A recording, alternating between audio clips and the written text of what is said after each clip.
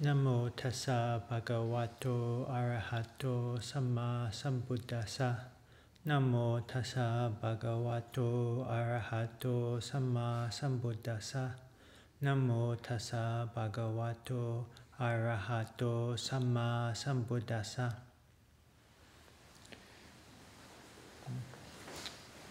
This Dhamma is for one whose mind is concentrated, not for one whose mind is unconcentrated. That's Than Ajahn Geoff's uh, translation from our root sutta on Anguttara 8, number 30. And so, to provide an overview, I'll be doing various shorter readings on this topic of concentration. And to be, and this will, in the beginning, and that will be from chapter 9 of Ajahn Geoff's book On the Path, which is on the Noble Eightfold Path. And then uh, the last longer reading will be Majjhima Nikaya 39. And so this chapter 9 is right concentration. And it, the chapter begins on uh, page 419.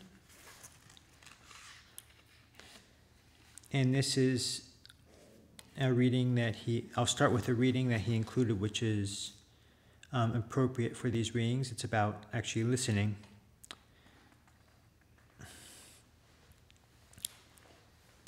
Monks endowed with five Dhammas, even though listening to the true Dhamma, one is incapable of alighting on the orderliness, on the rightness of skillful Dhammas.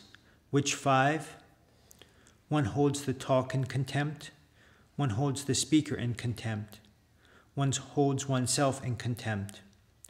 One listens to the Dhamma with a scattered mind, a mind not gathered into one. The Pali is anekaggacitto. One attends inappropriately.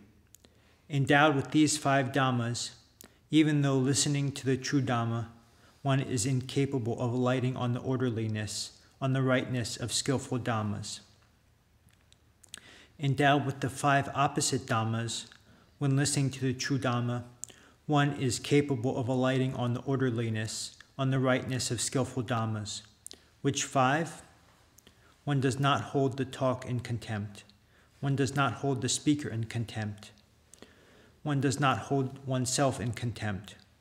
One listens to the Dhamma with an unscattered mind, a mind gathered into one, which is ekaggacitto.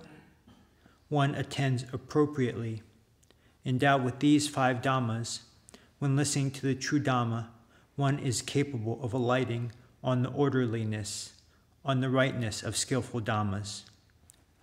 And that's Anguttara 5's number 151.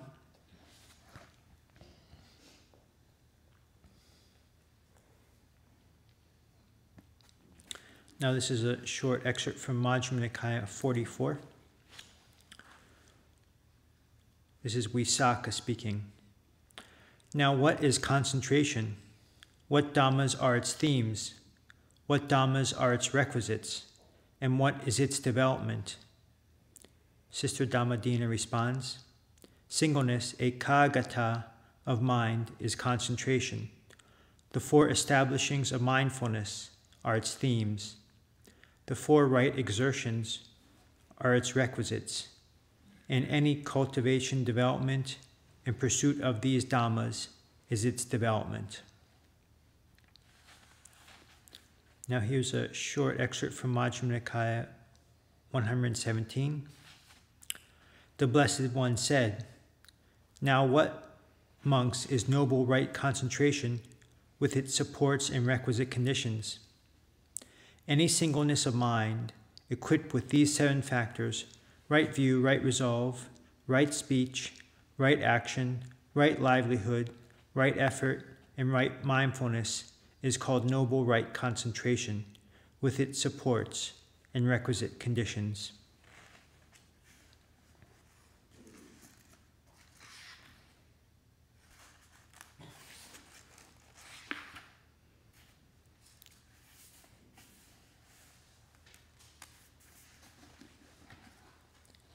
And now I'll be reading Anguttara 4's um, number 41. It's about the four developments of concentration.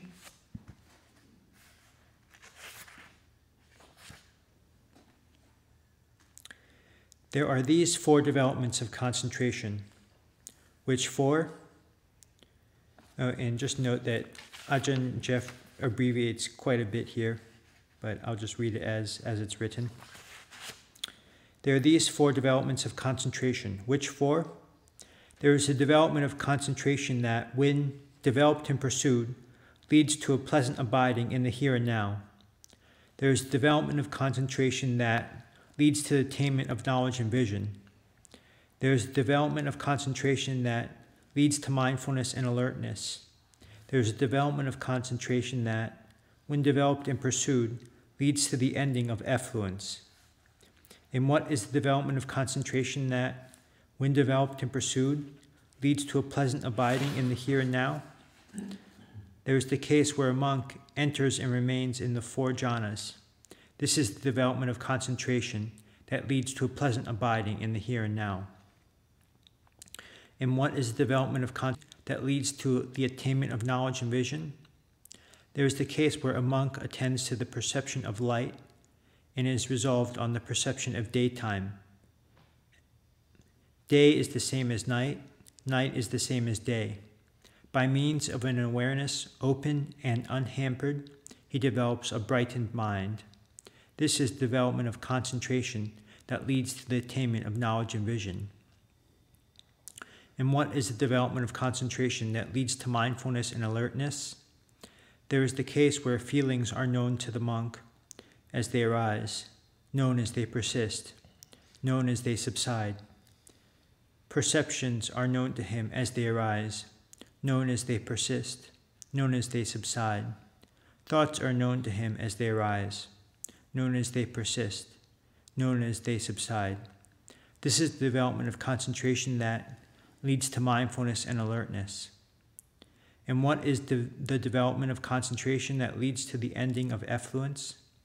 There is the case where a monk remains focused on arising and falling away with reference to the five clinging aggregates, such as form, such its origination, such its disappearance, such as feeling, such as perception, such are fabrications, such as consciousness, such its origination, such its disappearance. This is the development of concentration that leads to the ending of effluence. These are the four developments of concentration.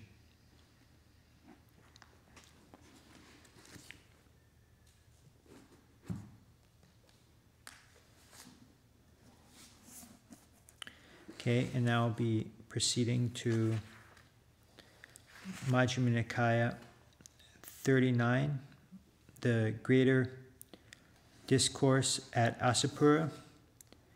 And it might be useful just to mention in context, this is one of these gradual progressions. And Ajahn Geoff put various head, uh, headings. And so the first one is shame and compunction.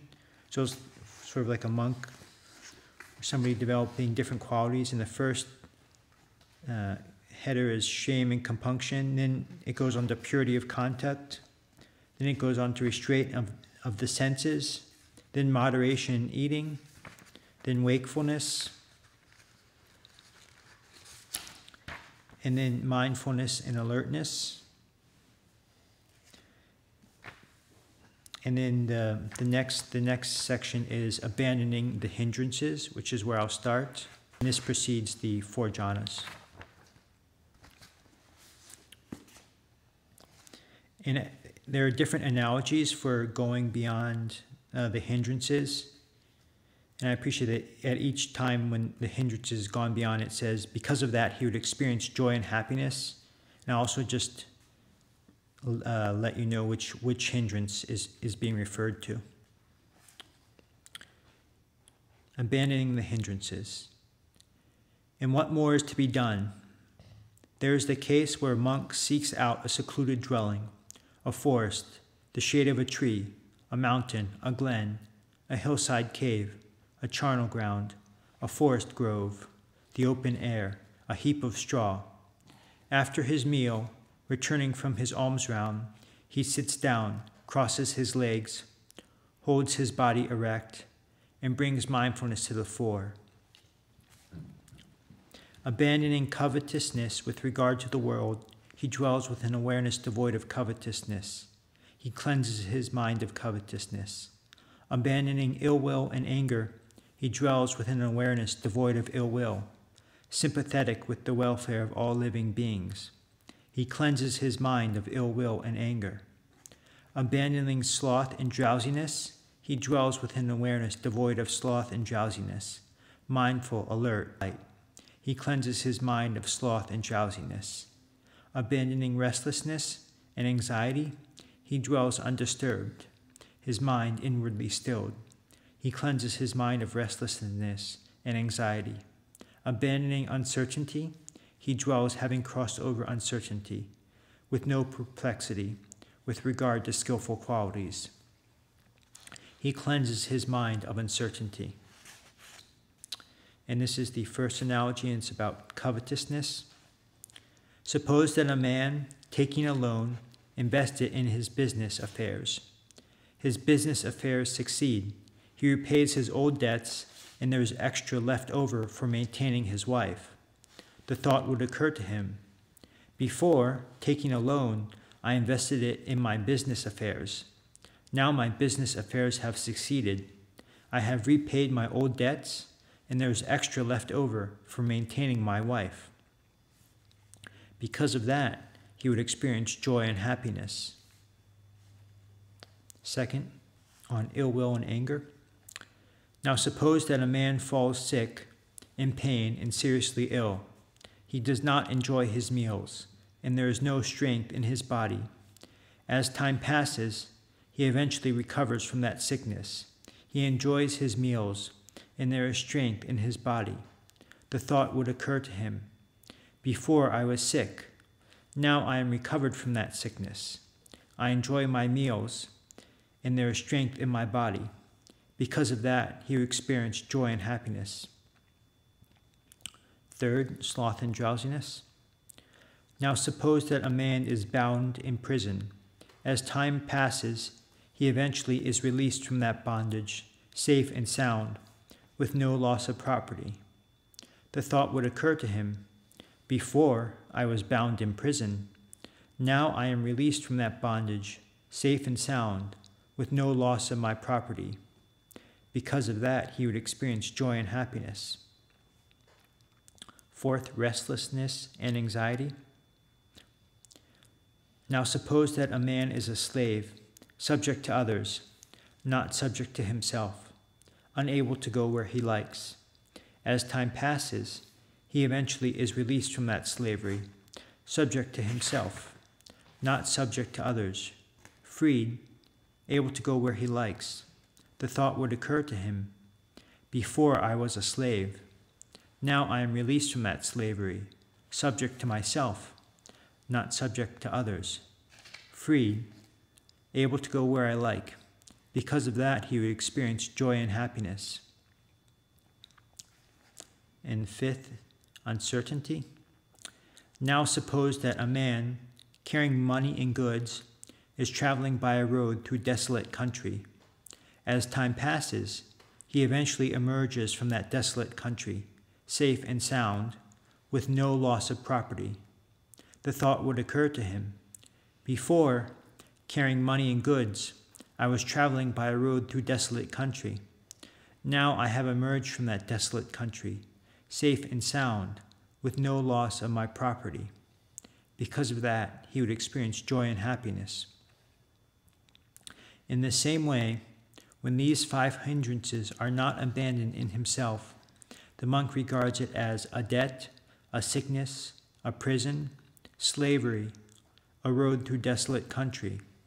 But when these five hindrances are abandoned in himself, he regards it as unindebtedness, good health, release from prison, freedom, a place of security. When he sees that they have been abandoned within him, gladness is born. In one who is gladdened, rapture is born. Enraptured at heart, his body grows calm. His body calm, he is sensitive to pleasure. Feeling pleasure, his mind becomes concentrated. Now for the section on the four jhanas. Quite secluded from sensuality, secluded from unskillful qualities, he enters and remains in the first jhana, rapture and pleasure born of seclusion, accompanied by directed thought and evaluation. He permeates and pervades, suffuses and fills this very body with the rapture and pleasure born of seclusion, just as if a dexterous bathman or bathman's apprentice would pour bath powder into a brass basin and knead it together, sprinkling it again and again with water, so that his ball of bath powder saturated, moisture laden, permeated within and without, would nevertheless not drip. Even so, the monk permeates this very body with the rapture and pleasure born of seclusion. There is nothing of his entire body unpervaded by rapture and pleasure born of seclusion. Furthermore, with the stilling of directed thoughts and evaluations, he enters and remains in the second jhana rapture and pleasure born of concentration, unification of awareness, free from directed thought and evaluation, internal assurance. He permeates and pervades, suffuses and fills this very body with the rapture and pleasure born of concentration. Just like a lake with spring water welling up from within, having no inflow from the east, west, north, or south, and with the sky supplying abundant showers time and again, so that the cool fountain of water welling up from within the lake would permeate and pervade, suffuse and fill it with cool waters. There being no part of the lake unpervaded by the cool waters, even so the monk permeates this very body with the rapture and pleasure born of concentration. There is nothing of his entire body unpervaded by rapture and pleasure born of concentration.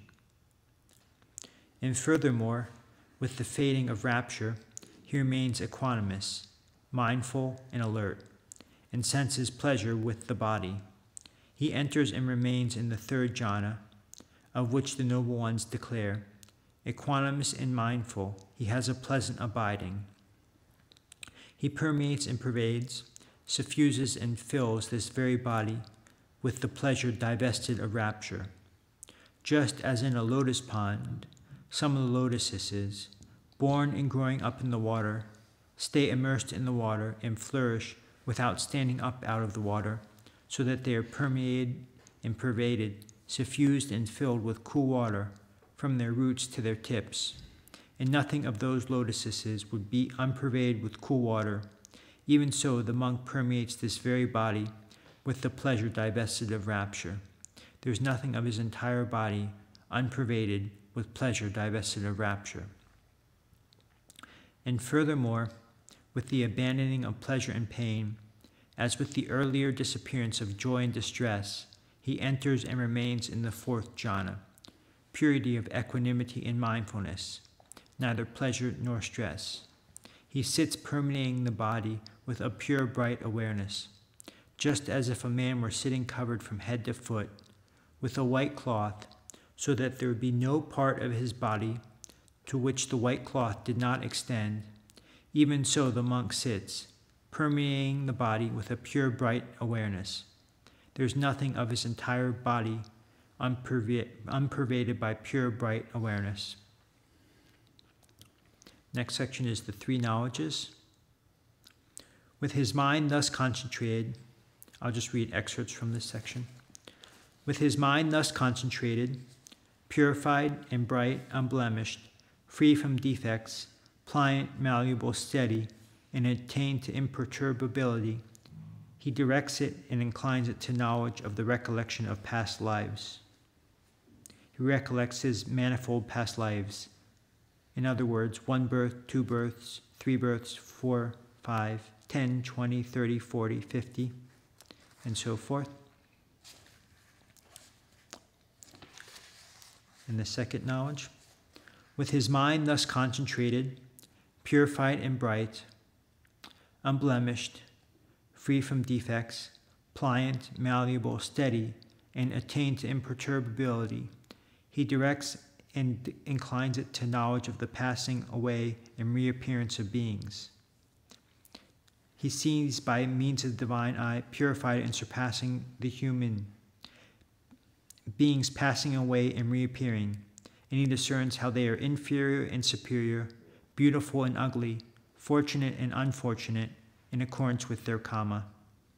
These beings who were endowed with bad conduct of body, speech, and mind, who reviled the noble ones, held wrong views, and undertook actions under the influence of wrong views, with the breakup of the body, after death have reappeared in a plane of deprivation, a bad destination, a lower realm, hell.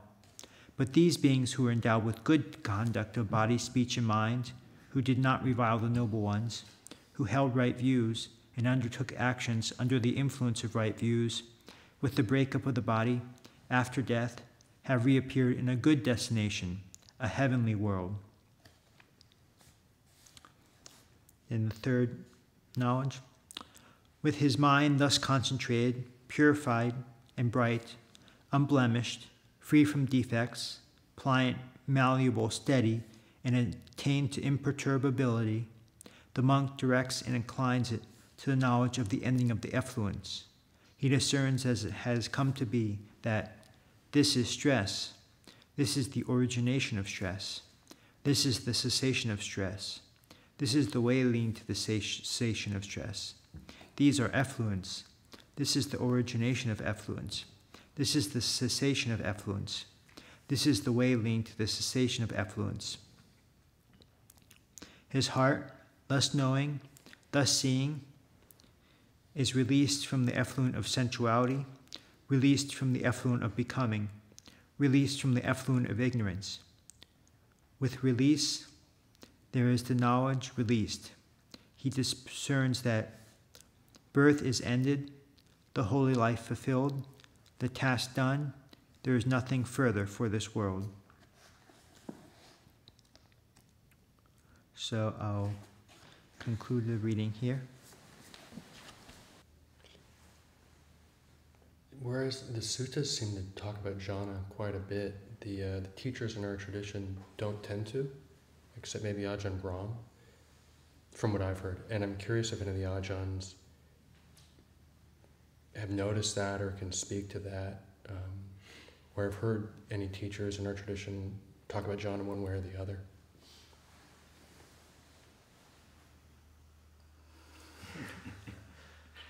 um, you know, my experience is, is that they do talk about jhana factors, but just don't label, put labels on it in terms of the categories so much.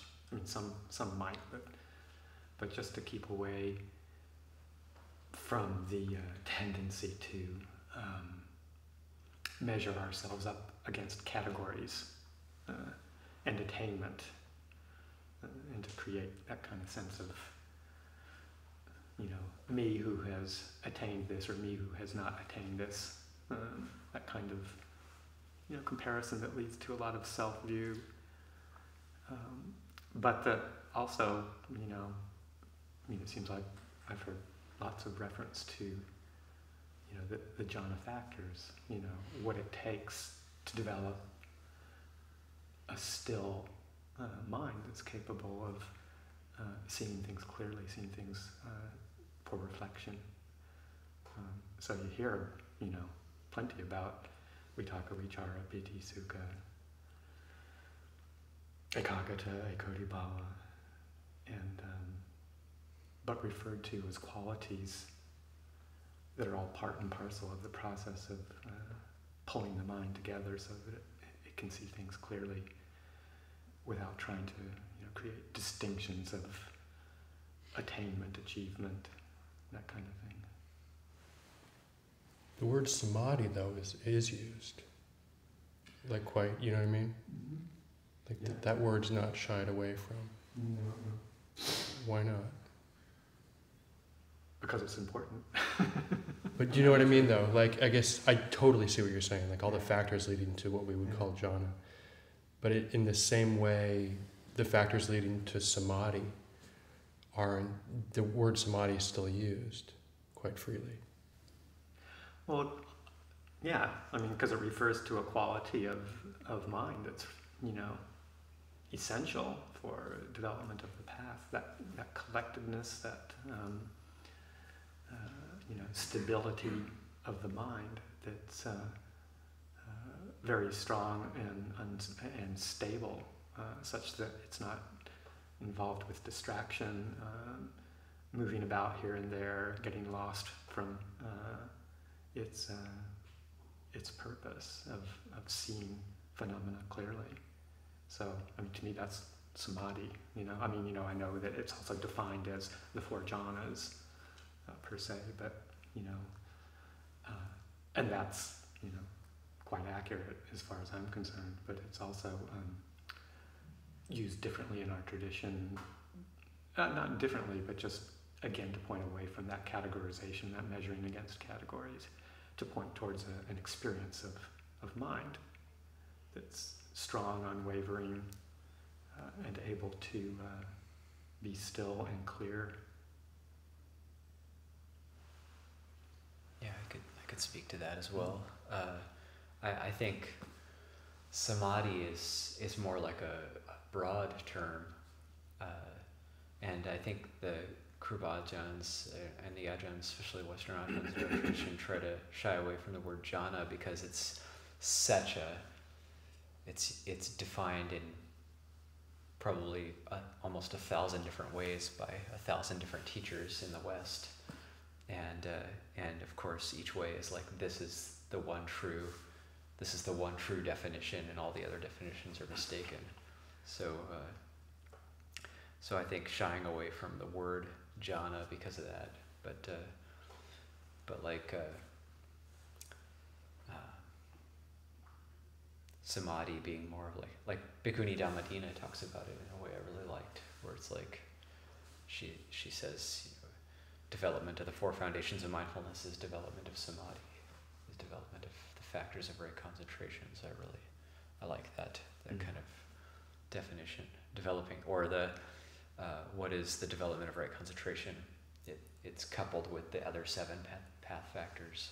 So like it's this integrated samadhi is I think is more like an integrated term uh, than, uh, than jhana is.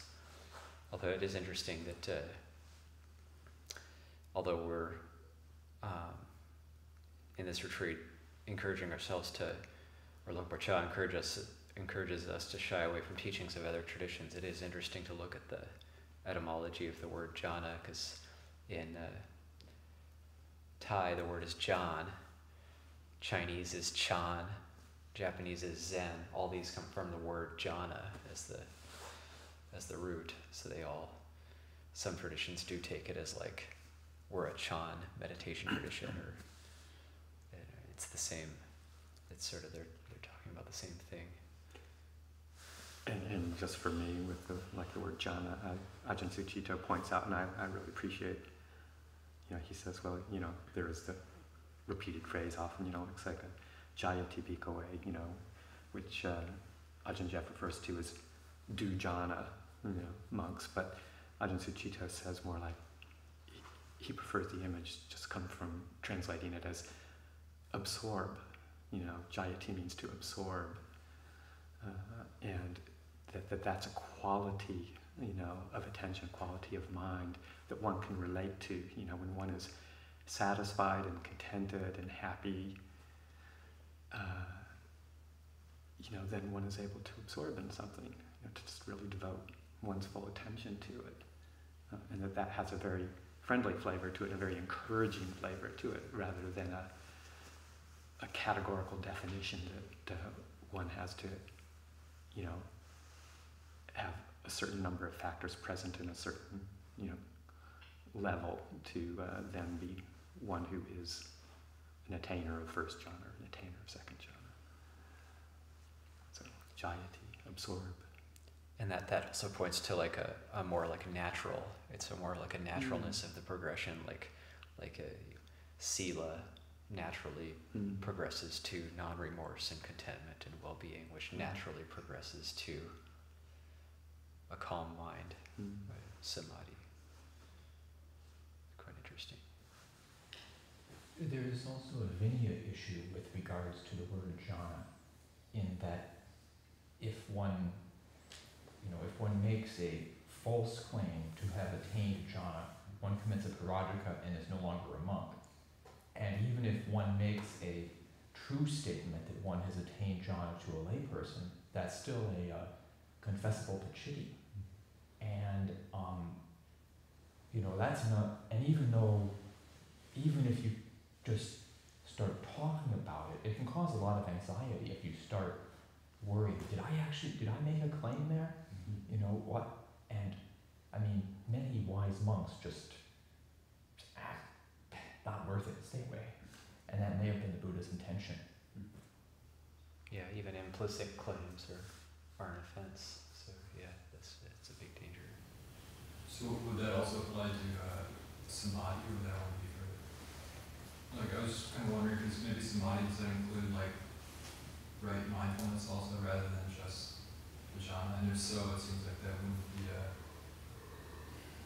you know, something. Maybe we can get into a, uh, the, uh, No, just, just details like what Ajahn Chana said, just like jhana being, you know, that's a, you know, like super, super mundane or whatever, but samadhi maybe yeah. not, not quite that level. If you were implying, if you were implying that you had attained the jhanas and you knew it was, you knew you hadn't, Right. that would be a, a danger Right, if you were using speech in that way. right. There was a part that was talking about uh, knowledge and vision, something leading to knowledge and vision, um, and then it talked about the day and the night and light. Um, I can't remember what list that was a part of, and anyway, could somebody please flesh that part out a little bit? That's perception of light, developing a perception of light, so that the mind is has the perception of daytime even at nighttime, like the the mind is is filled with light. That's just the the Buddha saying you develop the perception of light. One is to overcome sloth and torpor, but two to develop one who develops the perception of light. The result is knowledge and vision as well. And that's generally referring to like psychic power kinds of things, powers of the mind, powers of the chitta, to be able to see different realms, you know, develop the vision to see into other realms. So that section of the four uses of, of concentration, of the four developments of concentration, refers more to the development of, those mind powers, I think. Yeah. So it's not, sometimes it's like yat, yata, bhuta, jnana dasana is translated as knowledge and vision of things as they come to be, but it sounds like, and it makes a lot of sense of why it would be a separate category, but what you're saying is that that's a little different, it's more towards the psychic powers and like sort of the insight knowledge. That, because it, because if it is sort of insights in those four categories of- about developing concentration, it wouldn't quite make sense. Yeah, there's yeah, you know, I get a little bit con- uh, mixed up, or right now I am a little bit because there's the knowledge and vision in that reference to the psychic powers, but there's also knowledge and vision of the way things are, Right, right, right. um, which uh, has a different connotation more towards uh, development of insight, I think. Right. And I can't remember the Pali. But with perception of light, I think it's more broad too. yeah, like but that one is just oh. knowledge and vision could be quite broad. It, you know, we can't really pin down what exactly is that referring to in that instance. But uh, that's the whole. That's what gave rise to the commentaries, and even the different commentaries say different things. But uh, the Buddha spoke in in broad ways as well. You know. Yeah, I, I think it could it could refer to insight, but also I've heard it said that developing perception of light can lead to things like divine eye. Yeah, that's what I think in that case it's referring to because you have the second two sections that refer more to the development of, To of, of insight, insight. and the ending of the effluents. As far as I get it, anyway. the word is used in both contexts. Sometimes it's referring to both to, it inclusively to include both the higher, um, uh, noble attainments as well as psychic powers. And sometimes it's used to refer to just psychic powers. And it's both Yatapata and Yanadasana in both situations.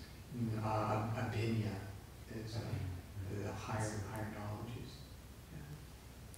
Yeah, I forgot the exact phrase, but that phrase, knowledge and vision, it can be used in both contexts. But this one, Yanadasana is knowledge and vision. right, I, yeah, I don't think it's Nandasana in that, in that specific case. You can check.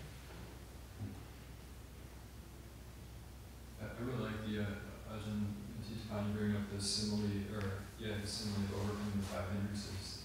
And, uh, cause it's not very helpful in, in, in and of themselves, like, uh, disease or being released from prison or, uh, kind of that effect. But then also after they were finished, there was, there was a section where it was like, seeing that these hindrances have been abandoned, one experiences, uh, gladness, and then that leads to joy and pleasure and samadhi. And it was kind of like the connection I was making is that like it shows how overcoming hindrances leads to the progressive development of these uh, uh, wholesome states of mind that ends with or you know culminates in, in samadhi and to sort of yeah overcome, kind of showing the link between overcoming the hindrances and the mind entering samadhi